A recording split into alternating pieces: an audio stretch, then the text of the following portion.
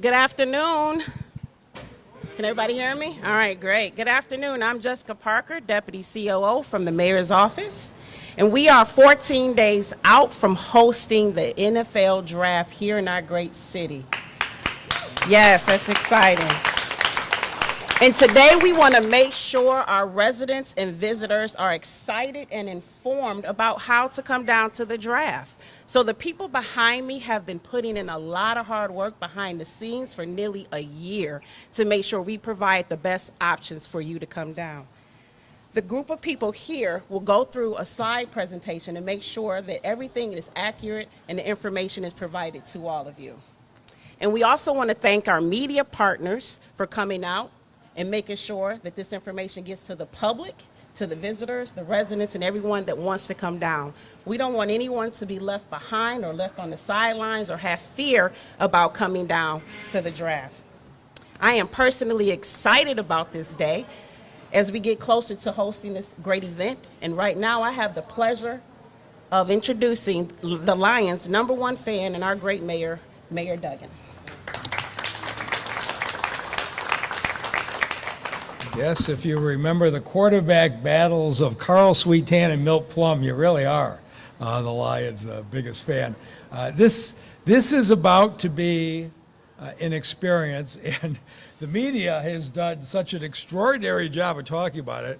Uh, we have got expectations, and today we want to make sure uh, we set those expectations people have never experienced it. Somebody yesterday said to me, Why are you guys building a pavilion? Why don't you just do it in Ford Field?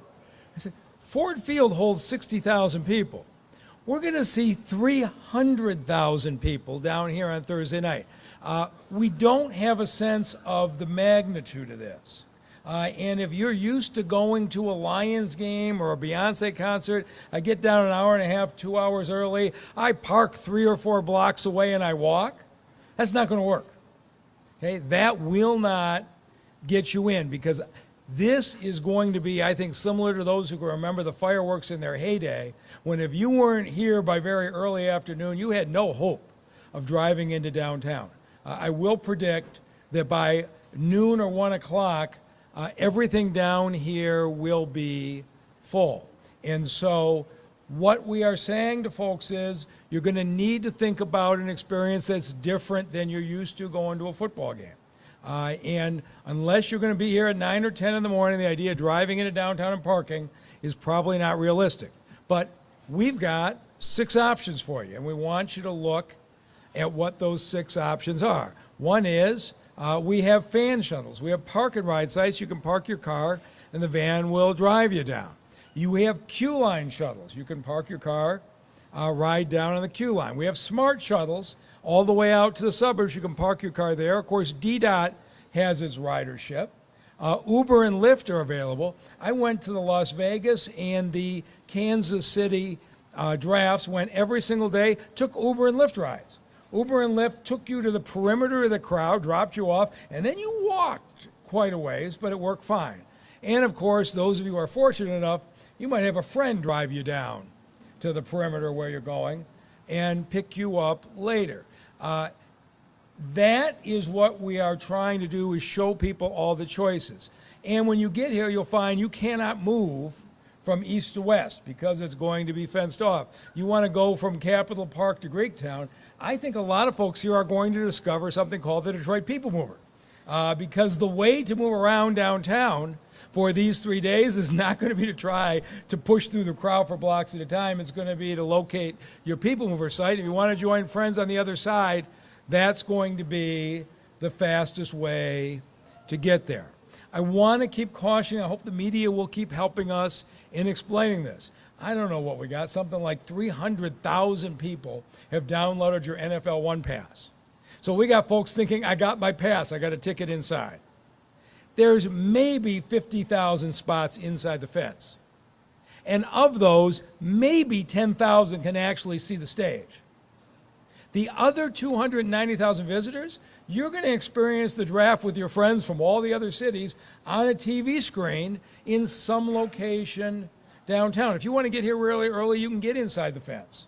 You want to go to the fan experience with your kids and, and play the football games, you can get in and get in the the uh, inside the, the NFL fan zone, but most people here are going to experience the draft on the streets of downtown.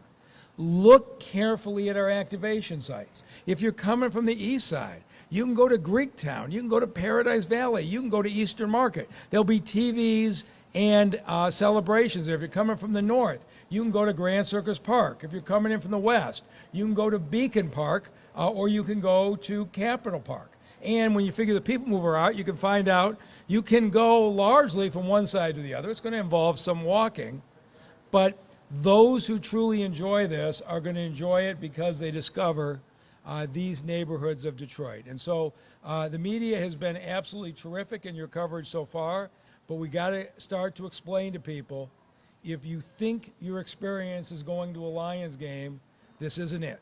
You're going to have to get here in a different way. You're going to have to get here earlier, and uh, you're going to have to navigate your way uh, among the activation sites. That's the basic uh, approach. And the guy who actually knows all the details of all of the transportation offices is our uh, transportation expert, Sam Krassenstein. Sam? Uh, thank you, Mayor. Uh, good afternoon, everyone. My name is Sam Krassenstein. I'm the, the city's chief of infrastructure. So I'm going to run through a lot of the details that Mayor Duggan started to, started to lay out here for all the great ways to come down to the city during the draft. So the draft runs Thursday, Friday, and Saturday. The hours for the draft Thursday and Friday are basically the same. The gates open at 12, and on Saturday it opens up a little bit earlier, starting at 9 a.m. Uh, we have two really great free public transportation options right in our backyard in the downtown. We have one, the Detroit People Mover, which I actually took to get here for this press conference and is, is truly great and an underutilized asset that people should really be using more. Uh, during the draft, the People Mover is going to be running 24-hour service with trains coming every five minutes, and it takes you right next to the entrance locations.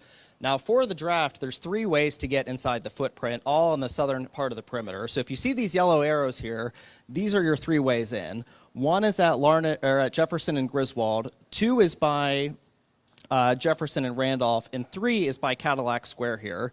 The People Mover takes you right next to two of these entrances and literally less than a two minute walk away, so it's extremely convenient. The other option is to take the Q line. So for people who are thinking about parking a little bit further away, it's a really great option to take the Q line down Woodward and drop you right outside Little Caesars Arena, where you'll be able to walk down Woodward right past the Fox Theater where the prospects will be coming out, as well as through the Grand Circus Park, where our partners at DDP are going to put together a terrific draft in the D activation for some of those people that choose to be outside of the fence line. So I really want to thank our partners at SMART for the park and ride program that they put together throughout Metro Detroit. So SMART has just done a terrific job in identifying locations all throughout Metro Detroit in Wayne, Oakland, and Macomb County that take you right directly into the draft footprint uh, from all of these great locations up on the screen, all for the, the, you know the great rate and bargain of only two dollars, where you can park at one of these places, take a bus in, and not have to worry about dealing with parking or traffic at all downtown. We also have our great partners at the RTA for people coming a little bit further away with their D2A2 service from Ann Arbor and people coming from out of town over by Metro Airport that you can take the bus right down here and it drops you in a great convenient location right next to um, right next to the people mover station and really close to both the DDP activation areas and the draft footprint. So for people that are trying to get downtown, we have the Q line, which we talked about, and we can see the road closure area in blue. Uh, the best option for people coming down is to take advantage of one of the park and ride options. So the smart option I talked about earlier is great, but we also have Q-Line who has set up a partnership with lots in the New Center area for only $5. You can park in one of those lots, hop on the Q-Line, and come directly down Woodward into downtown. The next option we have is the fan shuttle program where we've set up with our partners, Wayne State, uh, Michigan Central, and GM on identifying three lots that you can park at where we'll be providing round the clock service, buses, and shuttles to take you from those lots right into the draft footprint, all at very affordable rates and convenient locations. Now, if you, choose, if you do choose to drive downtown, you can do that, but you should know parking is going to be very limited downtown, and we recommend that you arrive very early. If you're set on parking in the, in the CBD in the Central Business District, you can do that. We recommend that you get here two hours before the gates open and try to get here by 10 a.m. We've seen a lot of these lots are already starting to be reserved, and so you should definitely prepay your parking. Don't try to just wing it, drive down here and find a lot, find a space in a lot because you're not going to be successful doing that early afternoon during the draft days. We'll also be restricting on-street parking in much of this area and we'll be strictly enforcing people who are choosing to park illegally in the downtown. So please don't think that that's an option where you can come down, park illegally, take a ticket, and there not be real consequences. Now, there are other options. You can choose to park a little bit further away and you can arrive a little bit later. These lots are still going to be probably pretty pricey, uh, and we still recommend prepaying for those lots to be able to come downtown. Now, if you're arriving a little bit later, definitely look at taking advantage of our fan shuttle options. Um, we do have prepay available for people who choose to do that.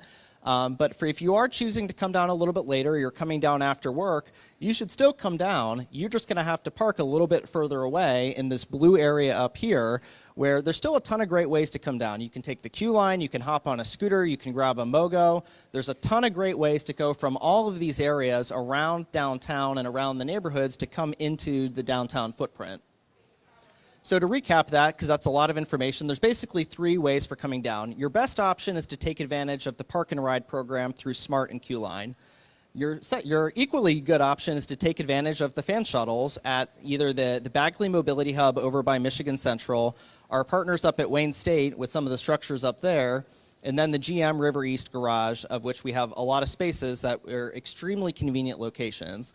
And if you do choose to drive downtown, you can, but you should you need to plan ahead and you need to arrive early if you have your heart set on doing that. So what else do you need to know? So from a traffic perspective, we have two main roads that are closed. Jefferson is going to be closed from the Lodge to Randolph, and Woodward is going to be closed from Jefferson all the way up to 75. What that means is if you're going to the west side of the city, you need to come in from the west side, like from the lodge. If you're going to the east side of the city, you have to come in off 375.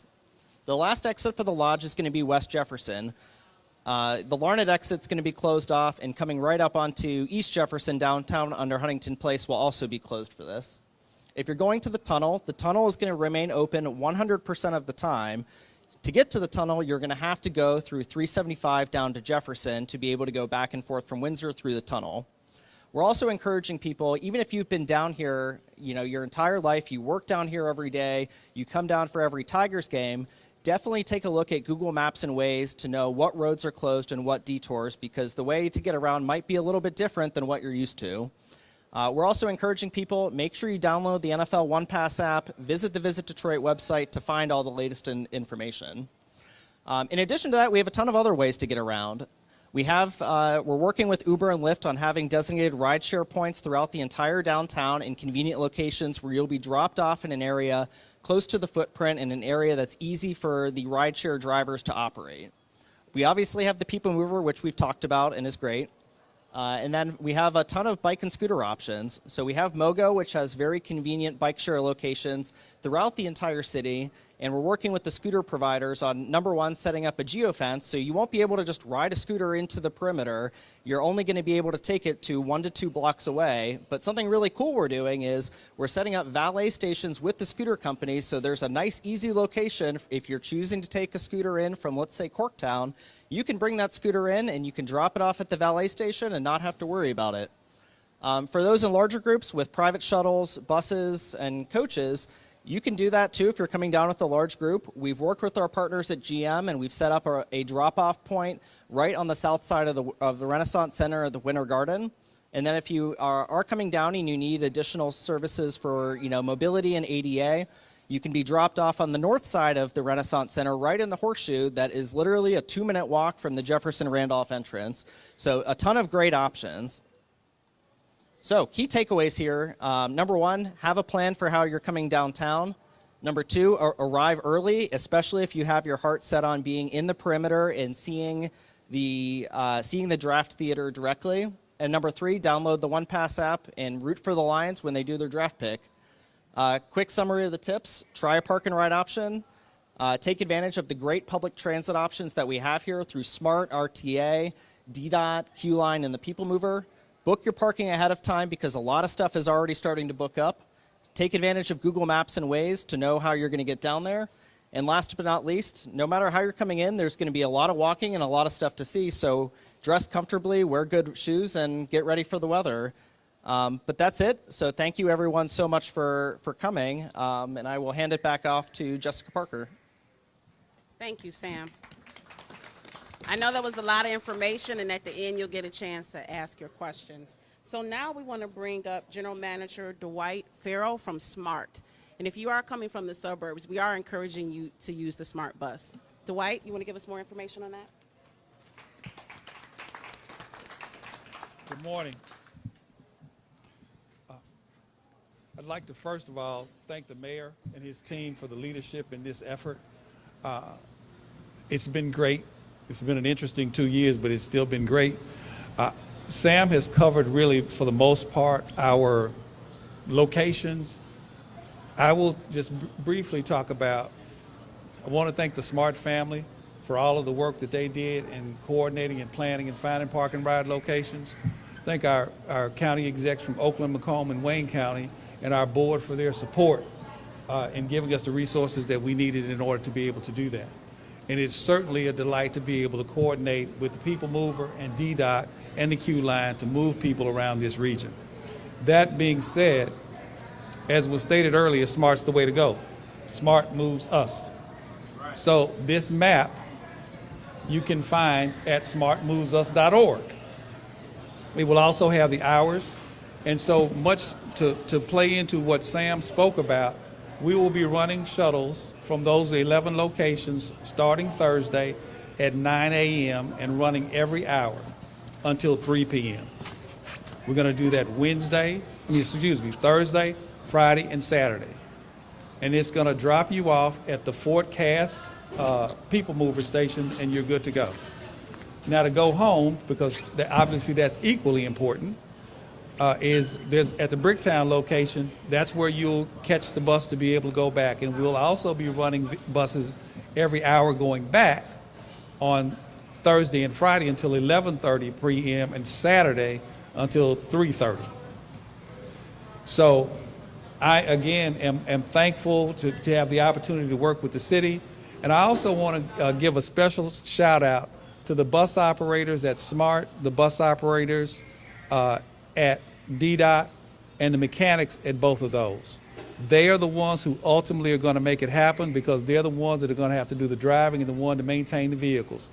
And so I appreciate their efforts uh, and both of those ATU uh, locals and their leadership for helping us in this. And with that, I'll turn it back over to you. Thank you. So who here has ridden the People Mover? What about lately? So we have done a lot of improvements on the People Mover. So we have a lot in store for the fans that are coming out and that will use the People Mover. And we have General Manager Robert Cramer here to tell us all about it. Thank you. Uh, I know we're all in final countdown mode, but it's very exciting to be here today to share and talk about the hard work that's been going on uh, behind the scenes for months. The mayor and his team, all the supporting agencies and stakeholders, have a vision to make this draft unlike any hosted before.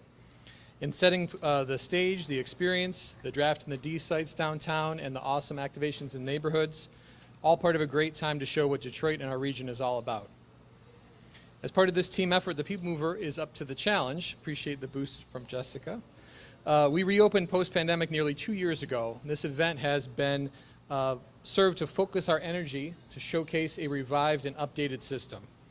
More trains in service, station technology upgrades, free fares all year thanks to our sponsors at Priority Waste have seen our ridership more than double, 120% increase over last year so far, and it's continuing to grow. So, very excited.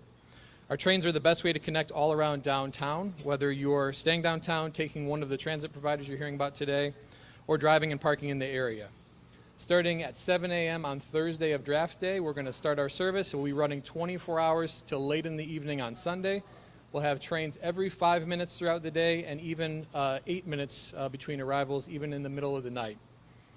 In coordination with the citywide safety and security efforts, our combined team of transit police and security will be visible in and around the system, patrolling and assisting with crowd movements around the area. Up on the 13 platforms with no traffic and great views of the city Our new digital TV screens will show real-time uh, arrival information for the next couple of trains, which is something that's uh, new for us, just turned on today. Uh, and like the Lions draft picks and a lot of the other improvements you're hearing about, these will be here to stay well after the draft is over. So very excited about those. Uh, for our team, what will get Detroiters to the goal line is connectivity. The DDOT, SMART, Q-Line, uh, MOGO, the RTA, and parking shuttles you heard about all connect and join to the People Mover in forming a public transit network uh, that's up to the challenge.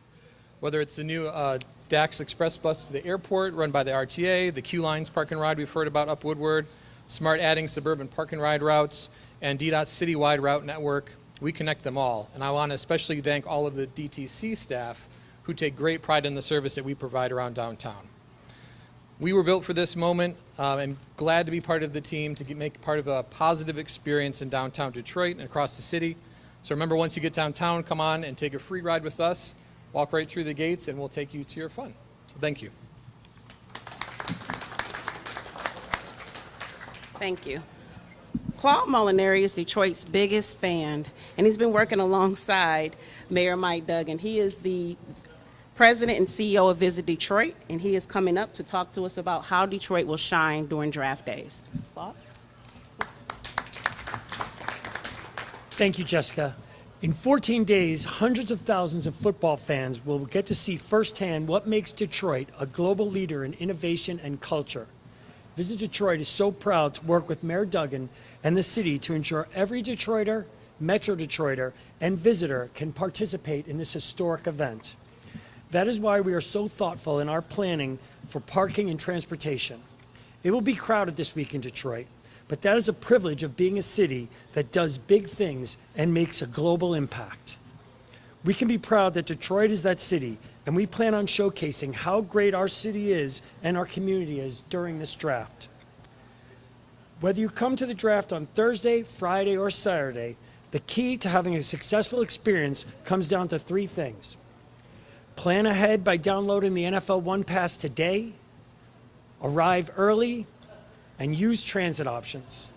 All the information you need to have a seamless experience can be found on visitdetroit.com. The NFL Draft is free to attend, and it will be the largest and most inclusive sporting event the state of Michigan has ever hosted. This will be a party that everyone will want to attend. In addition to the excitement of the draft, there will be great music, great food, and exciting NFL experiences that the whole family can enjoy.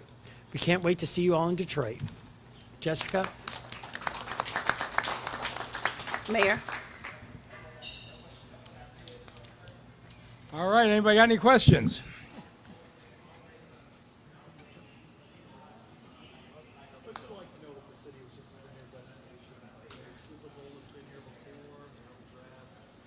It, it is, uh, it's just remarkable. I mean, every place I go in the country, uh, people are talking about coming to Detroit.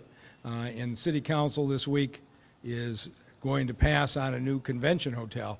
And there are a lot of major conventions in this country that will not consider your city if you do not have a convention hotel attached to the convention center. The momentum is just going to keep uh, building. Uh, Chief White, the Detroit Police Department, are uh, uh working overtime. I want to thank the men and women of uh, uh, the police department. I, Commander, I think we canceled everybody's vacation and leave uh, for three days. Uh, and, and DPD is pitching in, and, uh, but this is going to be the biggest event we've seen in many, many years. Mayor Duggan. Yeah. So are you nervous about anything? And I know you want us to blast out to everybody that likely only 10,000 people will get their eyes on that stage. How do you think people feel? The only thing I'm nervous about is the weather, and we can't control it. Uh, but no, I, I've been to these drafts. The drafts I was at, 80% of the people couldn't see the stage.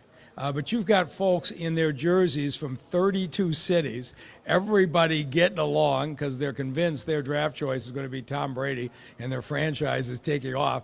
Uh, nobody's losing a game. It is a great experience. And people who go to Eastern Market or Beacon Park and hang out and watch the draft picks are going to have a ball. And I'm confident of that. Uh, the only thing we can't control is the weather. Yeah.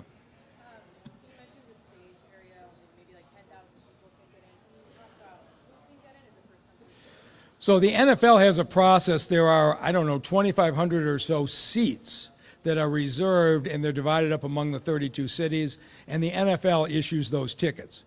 After that, you stand behind on a first come, first served basis, and you can see in. Now, when I was in Las Vegas, they had so few people that the NFL people were like huddling us to stand behind the stage so the TV shot looked really amazing. In Kansas City, it was amazing. Everybody showed up uh, and they were behind there. And so, what the NFL wants is that great shot uh, coming out of uh, the stage area. But then, of course, you're going to bend all the way down Woodward Avenue. You're down Woodward Avenue, you can't see the stage. But you're going to have, as I can tell you, having been there, just as great a time hanging out with your friends and people from other cities. As long as you can see a TV and hear the picks. Now, all of our bars and restaurants will have the TVs on, uh, the picks on. It's going to be, a lot of them are already being reserved for parties. Other ones, people are going to show up at 8 in the morning and start drinking. Uh, that's just the way it's going to be.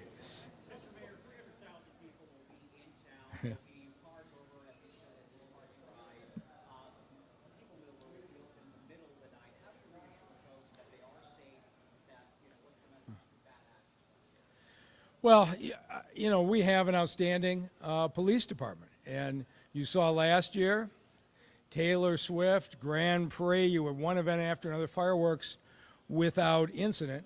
Uh, we have deployed 60 Evolv metal detectors throughout downtown. And I think by now everybody understands, at least those who've been down know how it works. Uh, if you've got your concealed carry permit, when the officer says to you, uh, you got a gun under your jacket, you show your permit. Every CPL holder knows they have that permit, and you're fine. Otherwise, we will catch the illegal weapons. Now, inside the NFL fan zone, that's controlled by the NFL. They don't allow any weapon of any type at all, and that'll be a different point. But we're going to respond, and, and I just going to keep saying to Detroiters, if you see trouble brewing uh, between a Bears fan and a Packers fan, don't intervene. Go get a cop, uh, and and our officers will uh, attempt to defuse it quickly. Yeah.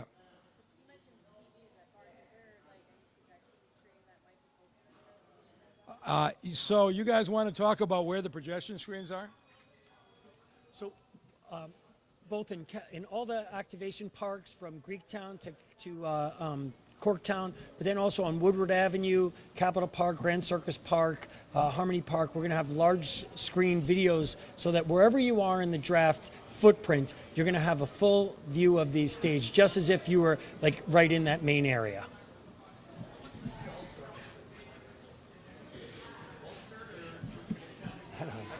Is it, didn't, didn't Verizon guarantee us uh, they were going to have the cell service working? Yeah, I, Go I ahead. can talk to this. Go ahead. So throughout the downtown, uh, the cell phone providers have been making a ton of upgrades in the infrastructure, both permanent and temporary, throughout the downtown. So not just Verizon, but all the providers have been installing new 5G sites that are going to be here long after the draft is behind us. But for the surge of people that are going to be down here, Verizon's also installing two huge cell towers, one in Cadillac Square and one in Hart Plazas, that's going to make sure that everyone's down here can get connected, they can do social media, they can stream the event to their friends that don't have the opportunity to come to Detroit. So we're really not worried about connectivity for, for anyone down here. That's him. Sure.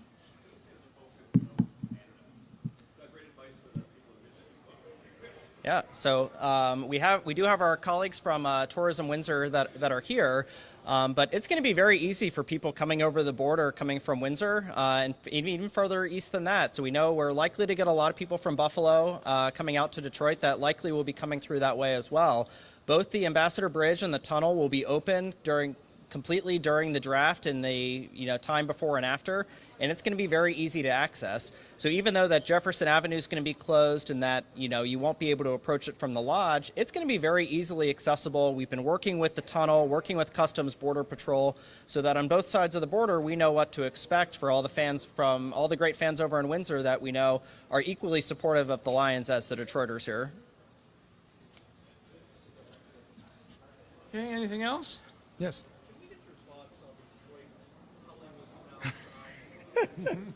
Uh, so I got to go over and take a look at it myself and experience it driving a 94.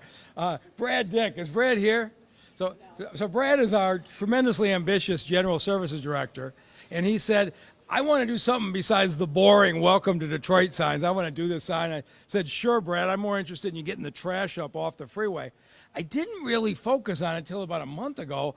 I saw a post on Instagram of a spectacular Hollywood sign. I called Brad. I said, that's terrific. I had no idea you were thinking that big. He says, that's a fake post. Some guy at Instagram just made it up. That's not our plan. I said, Brad, you got a problem. People are going to think the fake post is the real Detroit sign. He says, No, no, Mayor, you don't really understand social media. People don't confuse fake posts with real life. Uh, well, yesterday, I get an email from some procurement director in New Jersey demanding I fire the procurement staff because they didn't get delivered the sign that we ordered. I'm like, what is she talking about? I showed the link. They're circulating the fake post under what we got and claiming that the city of Detroit didn't deliver uh, what we uh, what we promised. So uh, I guess Brad will learn about uh, being ambitious and trying to do something uh, uh, special. but I, I, applaud the ambition of doing something a cut above the boring sign. And I think if he hadn't uh, been uh, uh, judged against that extraordinary artist on, on Instagram, he'd have done fine. All right. Thank you guys very much.